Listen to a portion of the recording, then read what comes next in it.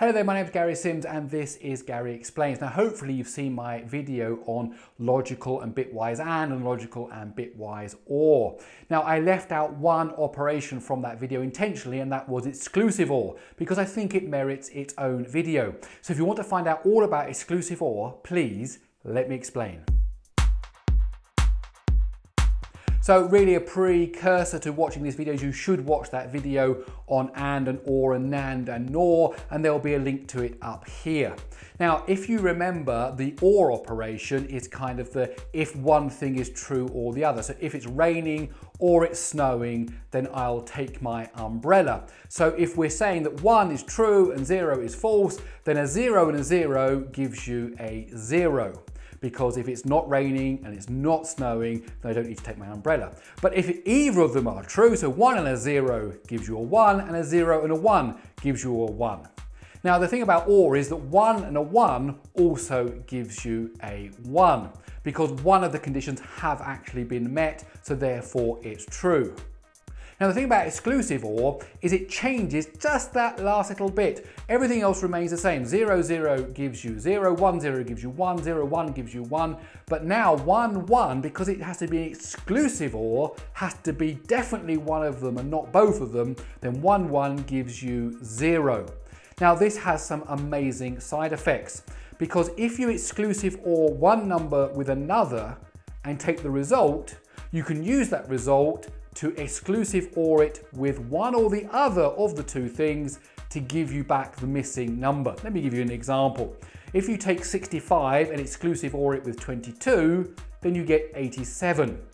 Now, if you take 87 and exclusive OR it with 22, you get back the 65, that very first number. And if you take the 65 and exclusive OR it with 87, then you actually get uh, 22 again.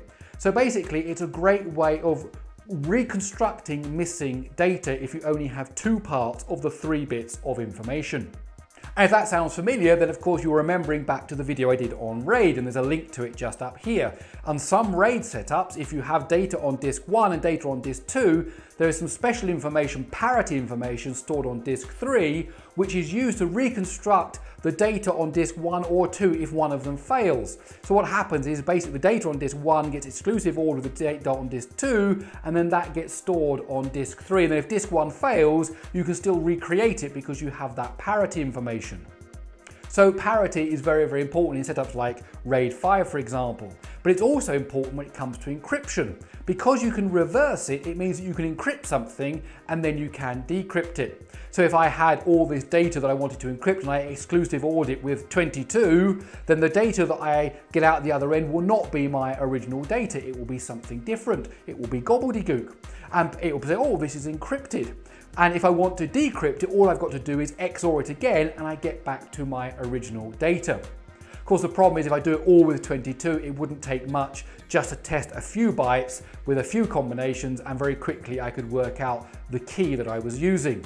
So an alternative then is to encrypt each byte with a different uh, number. So if I had a password, P-A-S-S-W-O-R-D, and I encrypted the first byte of my data with the P, the second byte of my data with the A, the third byte with the S, exclusive OR it with all of these things, then actually I would have a different uh, set of numbers coming out and that would be a bit harder to crack. However, it wouldn't be that hard because if I was just uh, exclusive ORing even just a, a, you know, a photo that's maybe two or three megabytes, that's enough data for enough patterns for me to very quickly see that every eight bytes there's a pattern forming.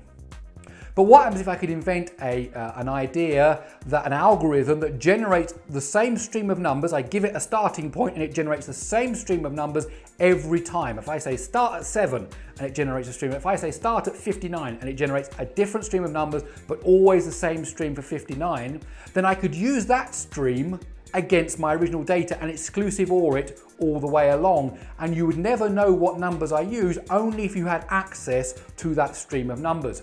And that's what actually is a stream cipher.